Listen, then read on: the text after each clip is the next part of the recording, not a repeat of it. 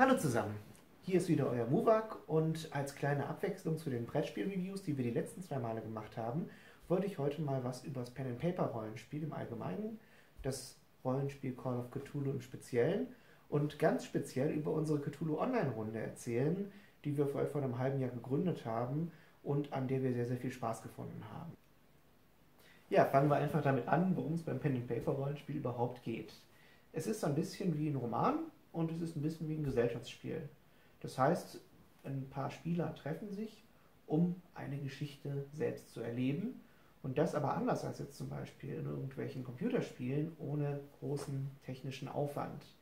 Das heißt, wir haben drei bis fünf Spieler, die jeweils die Rolle einer Romanfigur übernehmen, äh, die sie sich vorher ausgedacht haben und die sie auf so einem Charakterbogen hier fixieren. Da steht dann drauf, wie stark, wie intelligent, wie geschickt die Figur ist, aber auch, wie sie sich verhält, wie sie aussieht und so weiter. Außerdem gibt es ja noch den Spielleiter. Der Spielleiter ist zum einen dafür zuständig, die Spielwelt darzustellen. Das heißt, wenn die Spieler irgendwo hinkommen, dann erklärt er ihnen zuerst einmal, wie es da aussieht, wer da so rumläuft, äh, was sie sehen, wie das Wetter ist und so weiter. Außerdem ist es Aufgabe des Spielleiters, alle Figuren zu spielen, die eben nicht von normalen Spielern gesteuert werden. Beispielsweise die Spielfiguren, die wir übrigens auch Charaktere, deswegen heißt das hier auch Charakterbogen. Und im Übrigen heißt das Ganze deswegen Pen-and-Paper-Rollenspiel, weil es eben mit Stift und Papier gespielt wird, statt mit dem Computer. Jedenfalls der Spielleiter würde dann den Spielern erstmal beschreiben, ihr kommt in die Lobby eines Hotels. So, einer der Spieler käme dann beispielsweise auf die Idee, sich erstmal umzusehen und dann vielleicht den äh, Portier hinterm Tresen anzusprechen. Aufgabe des Spielleiters wäre es dann, in die Rolle des Portier, Portiers zu schlüpfen und gemeinsam mit dem Spieler ein Gespräch zu entwickeln. Unter Umständen nehmen sich die Spieler dann da ein Zimmer, ziehen da ein, was auch immer. Ist jetzt natürlich eine eher langweilige Szene, die auch eher zum Vogelplänkel taugt, aber stellt euch das Ganze halt mal als richtig spannende Detektivgeschichte vor. Was dabei dann natürlich auch eine Rolle spielt, im Rollenspiel, netter Wortwitz, sind all die Dinge, die da so passieren können. Dafür gibt es Regeln. Weil, wenn jetzt zum Beispiel ein Spieler den Portier dazu bringen möchte, das Zimmer günstiger abzugeben, dann wäre schon einiges an Überzeugungskraft notwendig. Und deswegen stehen auf diesem Charakterbogen hier Fähigkeiten drauf. Zum Beispiel die Fähigkeit, jemanden zu überzeugen. Da das nicht ganz klar ist, ob das klappt oder nicht, und da Spieler auch unterschiedlich gut oder schlecht in den Dingen sein können, spielt der Zufall eine Rolle. Das heißt, es wird häufig in irgendeiner Form gewürfelt und da gibt es sehr spezielle Würfel. Jetzt zum Beispiel gibt den 20-seitigen Würfel, es gibt 10-seitige, 12-seitige, 8-seitige, 6-seitige, 4-seitige und noch eine Unzahl anderer Würfel, die in verschiedensten Rollenspielen verwendet wird, führt jetzt auch zu weit ins Detail. Grundsätzlich ist es aber so, dass ihr irgendwelche Fähigkeiten habt und würfeln könnt, ob ihr erfolgreich seid oder nicht, wenn der Spielleiter euch dazu umbittet. Da ist natürlich auch das Thema Kampf eine ganz große Sache, denn in vielen Actionfilmen, Spielen etc. hauen sich die Leute immer gerne und gegenseitig und sehr gepflegt auf die Mütze. Äh, je nach Rollenspiel kann das etwas komplexer oder etwas einfacher ablaufen, aber auch hier spielt wieder der Zufall in Form von Würfeln eine große Rolle. Jetzt habe ich sehr, sehr viel erzählt. Ich würde euch jetzt gerne mal ein paar Szenen aus unserer Online-Runde zeigen. Dazu zufällt noch folgendes. Es ist mittlerweile so, man spielt Pen and Paper Rollenspiel nicht mehr zwingend am Spieltisch, sondern mittlerweile hat es der Spieltisch auch wieder auf die Computer geschafft. Und wir spielen in einem Programm namens Fantasy Grounds. Da mache ich mit Sicherheit auch nochmal ein tiefergehendes Video zu. Und äh, unsere Spielrunde ist gerade im Begriff, in einen dunklen Keller, in einem kleinen Laden runterzusteigen wo sich irgendeine okkulte Sekte auffällt. Mitspieler sind im Moment Christoph, Steffi, Dominik und Enrico, die mit ihren jeweiligen Charakteren unterwegs sind und beschreiben, was sie tun. Ich als Spielleiter werde Ihnen dann zeigen, wie die Umgebung darauf reagiert. Ich denke, ich werde während des Videos noch ein paar Kommentare dazu abgeben. Ansonsten viel Spaß mit der ganzen Sache. So, bevor es richtig losgeht, wollte ich euch noch mal ganz kurz unser Spielfeld zeigen. Das ist also so die Ansicht, die jeder Spieler hat.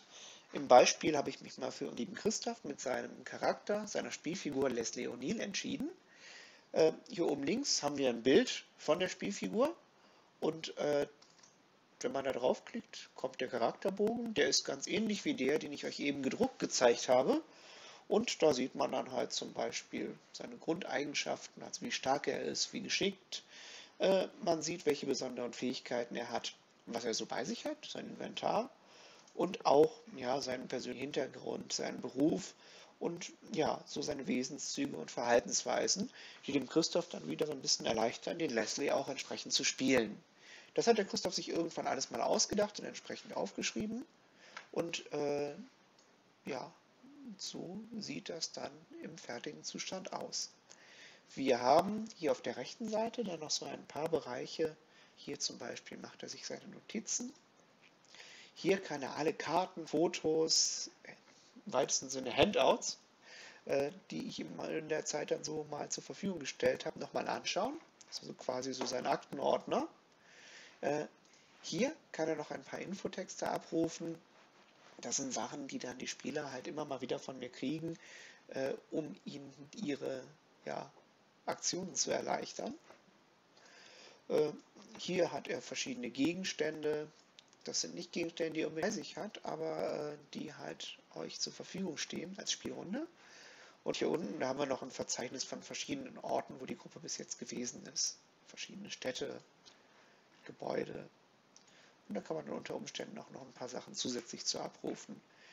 Ja, jetzt ohne weitere Verzögerung kommen wir zur eigentlichen Spielrunde. Ich wünsche euch viel Spaß bei dieser kleinen Szene. Ja, du blickst äh, den Raum, im Licht deiner Taschenlampe siehst du bei den Wänden diese rituellen Trommeln, die Steinplatte, über was auch immer, die Seilwinde und den Vorhang am Ende des Raums, der sich leicht bewegt. wie gesagt, okay. im Lichtkegel der Lampe halt immer nur einen gewissen Bereich des Raums. Mhm. Also wir haben, wir sind, wenn wir jetzt nacheinander reingehen, haben wir drei Taschenlampen. Ja, ja äh, aber bevor ich reingehe, äh, versuche ich erstmal so das Maximum auszuleuchten, wo geht, äh, um vielleicht einen dieser Typen zu sehen. Du siehst nichts. Also halt quasi äh, so einen mindestens äh, etwas über 45 Grad Winkel von der Position aus. Du leuchtest halt komplett einmal den Raum aus. Ähm, es gelingt dir aber nicht, irgendetwas zu erspähen, was über. Moment. Ähm, die Tür geht ja in den Raum auf, ne? Du wolltest mich jetzt dazu anstiften, dass ich den Raum aufdecke, oder? Jetzt kapiere ich Nee, nee, nee, noch nicht. Achso, ja. ja das wäre schon gar nicht schlecht, ja. Wäre vielleicht in deinem Sinne, oder? Ja, wenn ich da reingucke, ja. Also zumindest das, was ich abgeleuchtet habe bis jetzt. Okay. So, äh, wie weit ist die Tür auf? Tür, wie weit hast du sie aufgemacht? Ist deine ja, ja, genau. Äh, dann kann auf jeden Fall mal durch die Tür, gehe ich davon aus, dass keiner angreifen kann. Dann werde ich erstmal nach unten hin ausleuchten, also da wo jetzt äh, die Tokens von den beiden sind. Aha. Um zu gucken, ob da direkt jemand neben der Tür ist und zur Not da mit dem Messer hinzustechen. Dann betrete ich den Raum und schaue hinter die Tür, ob da einer ist. Und?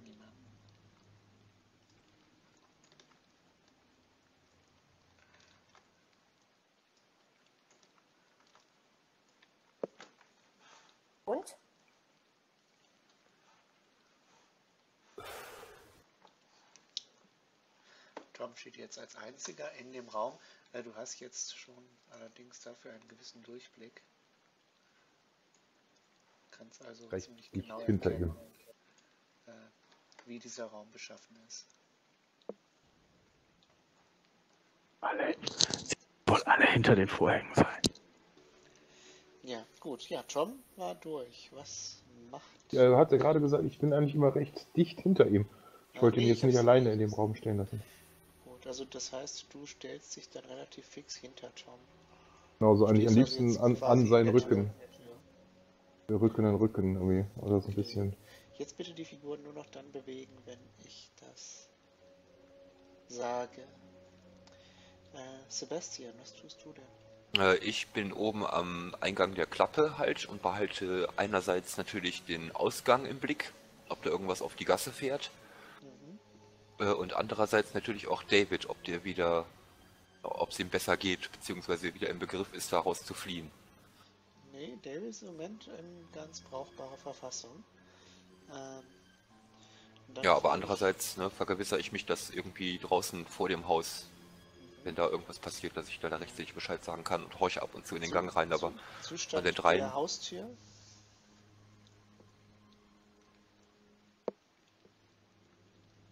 Zu, geschlossen, äh, die, die, äh, die Tür haben wir zugemacht wieder. Ja, Ja, würde ich ich würde schon, würd schon sagen, ja.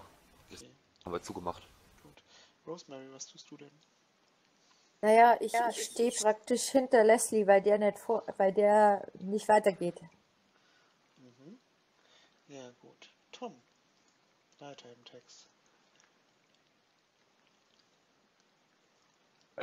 Okay, sollen wir zu dem Vorhang gehen? Auf losstürmen und reinstechen. Ja, das müssen wir halt gucken. Überraschungsmoment ausnutzen.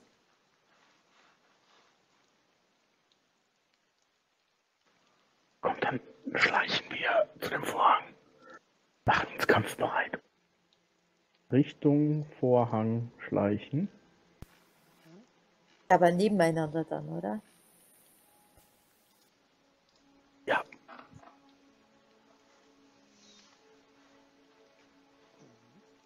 Ja, du schleichst langsam auf den Vorhang zu. Ja, passen wir denn da nebeneinander? Ja, Im der Raum, ist groß. Raum dann schon. Ähm, David, möchtest du irgendwas tun? Ich möchte auf jeden, ich möchte auf jeden Fall in, in den Raum reinhorchen. Reinhorchen? Habe ich das richtig verstanden? Ja, Gut. halt horchen, was da unten los ist. Leslie, was tust du denn? Ähm, also ich wollte auch mit mich in den Raum gehen und dann eigentlich so ein Dreieck sozusagen bilden mit Rosie und Tom. Dass wir uns in alle Richtungen ab. Sicher. Dann ist die Frage, ob Sebastian zwischendurch noch was macht. Ähm, ja, ich frag David, sollen wir mit runtergehen? Ich höre auch nichts mehr von ihm. Ich fühle mich irgendwie schlecht dabei, gar nichts zu tun. Vielleicht brauchen die da unten Hilfe. Oder willst nur du runtergehen? Nur ich? Bin ein bisschen immer noch sehr nervös. Eigentlich geht's wieder. Komm wir runter? Okay, wir gehen runter. Wir Ja. Rosie noch da stehen? Ja, müsstet ihr. Komm mit runter. Würde ich mich umdrehen zu den beiden und leise flüstern. Wenn uns an den Vorhang ranschleichen. Okay, ich zieh los. Ich habe übrigens das Gewehr in der Hand. Gut, also auch Rosie bewegt sich in diese Richtung. Ja, und Sebastian direkt hinterher. Ja, Sebastian ist erst gerade unten am Dings angekommen. Tom. Das ist mal ja ich, ich höre die Leute oh, äh, runterkommen, ne? Äh, ja, du hörst von hinten Leute äh, runterkommen. Dann verharre ich äh, da, wo ich stehe, ein bisschen angespannter und mache mich bereit, falls da irgendwas aus dem Vorhang äh, kommt, äh, das anzugreifen. Okay. Wenn ich das richtig einschätze, sind wir ja nur so ungefähr zwei, zweieinhalb Meter von dem Vorhang entfernt. Ne? Viel mehr ist das nicht mehr. Also ihr seid schon relativ dicht dran.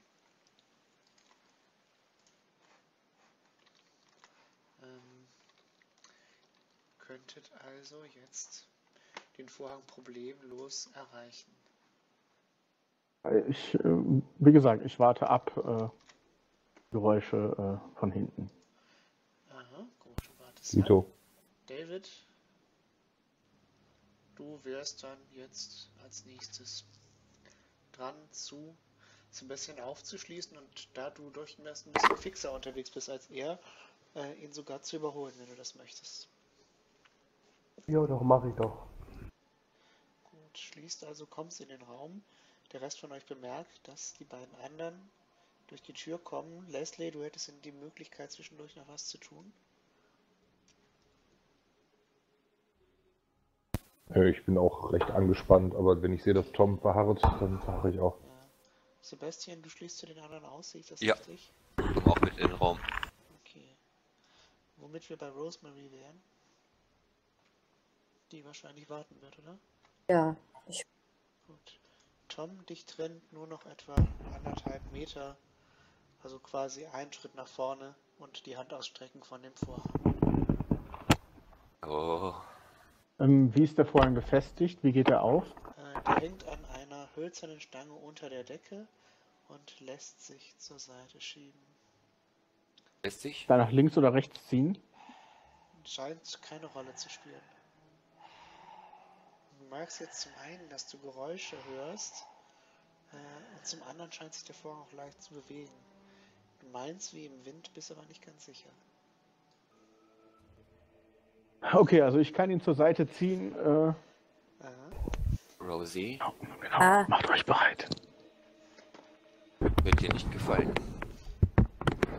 bin vorbereitet. Versuch ruhig zu bleiben. Ich dachte auch, ich wäre vorbereitet. Möglichst leise. Ja, dann. Wenn alle bereit sind. Naja. Werde ich äh, den Vorhang zur Seite ziehen. In dem Moment, wo deine Hand deinen Vorhang berührt, äh, gibt es ein knirschendes Geräusch. Drei Kreaturen, gefolgt von einer vierten, stolpern aus äh, der Öffnung hinaus. Ja, äh, du wärst durchaus aber noch in der Lage, kurz zu handeln, denn diese Kreaturen bewegen sich relativ langsam. Zuschlagen.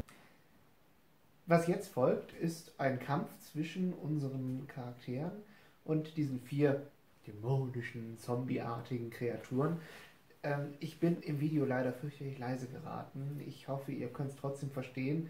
Wir machen wahrscheinlich nochmal ein gescheiteres Let's Play, wo ich ein bisschen besser ausgesteuert bin. Ja, ich hoffe, ihr habt trotzdem ein bisschen Spaß an der Sache gehabt, habt ein bisschen gesehen, was wir so veranstalten und äh, ja, wo so die Grundlage vom Pen and Paper Rollenspiel geht. Nächste Woche gibt es wohl wieder ein Video für The Others. Dieses Mal erkläre ich ein bisschen die Spielregeln.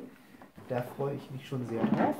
Ich danke euch fürs Zuschauen, wünsche euch eine schöne Woche und bis nächsten Sonntag, euer Muvak.